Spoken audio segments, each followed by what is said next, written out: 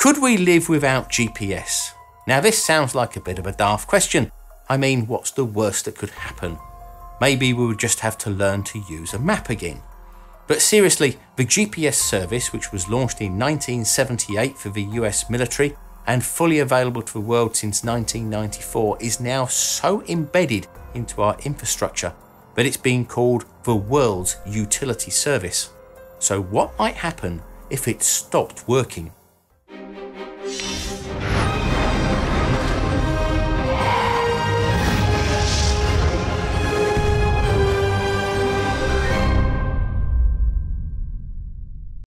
Video is sponsored by Stührling for the time of your life. Now, while most people think that the GPS system is just there to act as a kind of navigation aid to help find your way around in a car, it's also found its way into virtually everything that moves and other vital areas, including the electrical power grid, banking, trading, and mobile communications. But this is where a failure of a system, be that by natural causes like a solar storm or by deliberate sabotage, could have effects that will be far more profound than just having to dig out your old maps once more. In a recent report sponsored by the US government, it was estimated that a GPS outage would cost the US alone about $1 billion per day with the effects getting worse as time goes by until backups or new procedures were put into place.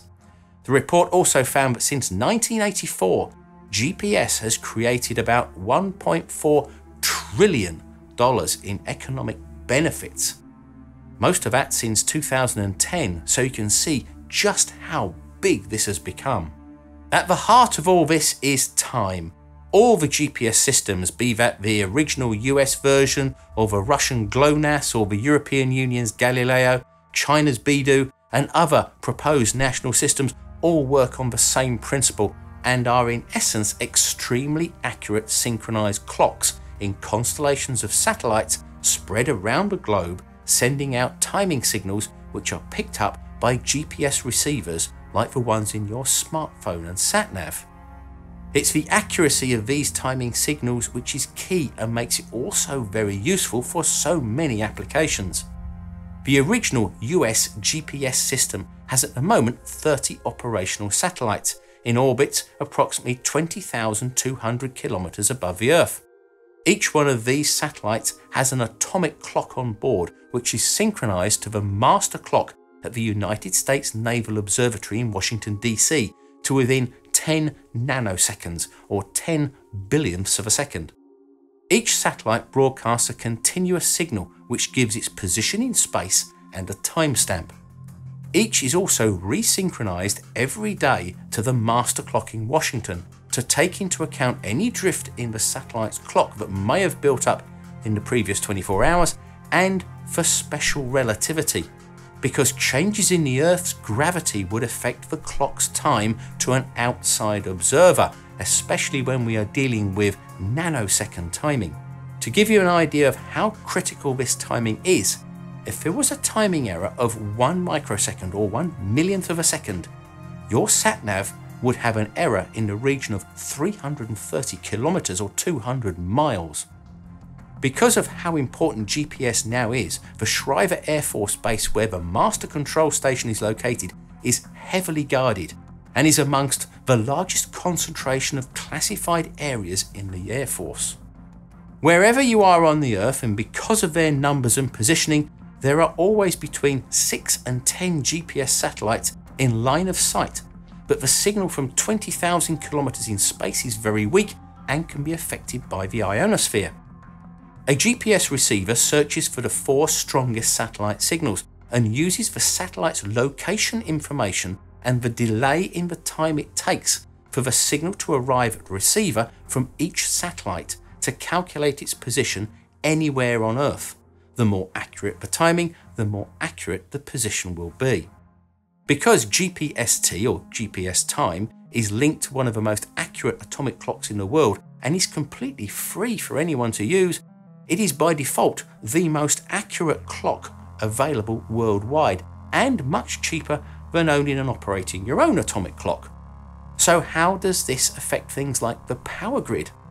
Well, in the old days, power grids were separate entities operated by different companies in different states or even countries. As the requirement for power grew, the grids had to become connected. To do this, the electricity, which is sent as alternating current, normally at 50 or 60 Hz, has to match the frequency and phase of a connecting grid, or they could cause serious damage to each other. A system called SCADA, or Supervisory Control and Data Acquisition, was developed and used to monitor the electrical supply and synchronize the different grids, but it could take up to 30 seconds between the measurement and the transmission of the data, and this led to regular blackouts as grids became overloaded as they became out of sync with each other. In the 1980s, synchrophasors began to be used. These systems gathered data once every second and instantly transmitted it to the control rooms, allowing much tighter control of power from many different sources, but they had to be synchronized together to work. As time has gone by, it's become easier to use GPS time as the timing source for synchrophasors because this is a worldwide standard and it has allowed larger and larger grid configurations spanning multiple countries. However, GPS is a 1970s technology which was never intended for such critical infrastructure control. Not because it doesn't work, on the contrary, it works very well. The problem is the security because even on the military side, it uses standards which are decades old. The signal is also very weak and is very easy to jam completely or spoof, that is, to override it with a fake signal with fake timing information. This is something which in the beginning was thought only possible by other advanced nation states, but with the advancement of technology, almost anyone can now buy equipment that can do this. There have been instances where people have been using GPS jamming devices on trucks so as not to be able to be tracked to work, but the side effect was to block all the GPS signals for a few kilometres around them. This might be an inconvenience to other GPS users on the road, but when they came close to an airport, it caused major issues for tracking and guidance of smaller planes and vehicles using it. In 2011, it's thought that a drone operated by the CIA over the city of Kashmar in Iran was brought down by spoofing one of its GPS receivers something which was later proven in 2012 in tests in the US. If the GPS timing of a grid synchrophasor was spoofed and off by more than 26.5 microseconds, it would compromise the integrity of the grid and could black out entire regions. But whilst GPS timing of synchrophasors is still limited but a rapidly growing area, financial trading is almost entirely reliant upon GPS timing for high frequency automated trading. These trading systems work by taking advantage of the market before the effect of news becomes apparent. In this time, millions of transactions can trade billions of dollars in seconds, and this requires sub microsecond timing, with the trading computers often co located in the network centers to avoid delays. Even the position in the room and the exact length of cable used to connect them to the network becomes critical. Some network providers hire out the use of their own atomic clocks as a source of timing, but many traders use GPS timing because there can still be a sub microsecond delay as the private clocks sync up to the national standard used by GPS at midnight. And as I say, time is money, and in this case it's very true, as billions could be traded in the wrong way because of a microsecond timing error. Another area of concern is mobile communications. Mobile phone towers use GPS timing to synchronize their internal clocks, which are used to multiplex calls into a digital data stream and then pass them from tower to tower before reassembling them and sending them onto the correct phone.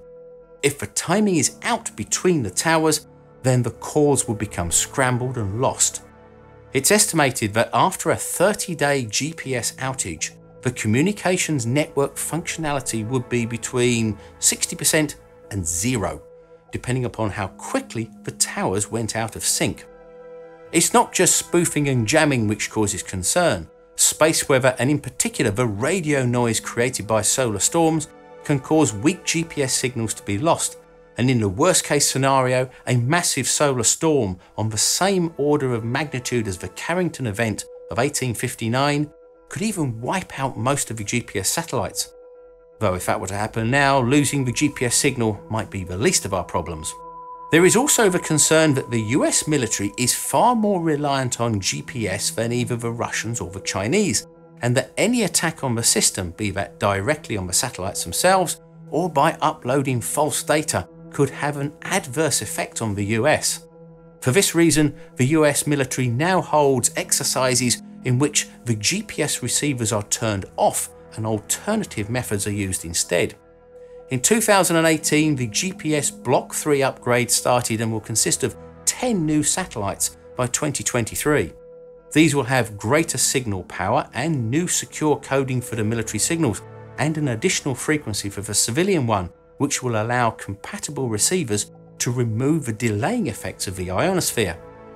Other GPS systems like the EU's Galileo can also work with the US GPS system to create larger, more available GPS signals. So, is there anything we could do if we lost the GPS system? Well, there are other older land based radio navigation systems which are still in use. One in particular, called Loran, dates back to World War II. In recent years, it's been updated to eLORAN, and because it's basically a timing service, it could be used as a substitute for GPS. Being land based means that the signal is over a million times stronger than GPS and therefore much more difficult to jam or spoof but it's only available in areas where the eLORAN transmitters are placed and it's not available as a worldwide service. The UK now uses eLORAN for navigation control through the Straits of Dover in the English Channel, the busiest waterway in the world, because of fear that a GPS system could be knocked out by a spoofer on either side of a channel. So, could we survive without GPS? Yes, of course we could. But as we've never lived in a technological world where it suddenly disappeared, its loss on a worldwide basis would still be unknown. But one thing is for sure the more time that goes by and the more integrated GPS becomes into our way of life, the bigger and the more profound the effect will be. Now, whilst GPS time is great for sub microsecond timing, if you want more regular human time, then there's no better way than to do it in style than with a watch from the sponsors of this video, Stührling. With over 5,000 watches in their catalogue that covers every type of watch and lifestyle, Stührling is on a mission to inspire a new generation of watch lovers with stunningly crafted, affordable watches at prices that anyone who appreciates great timepieces should be able to afford.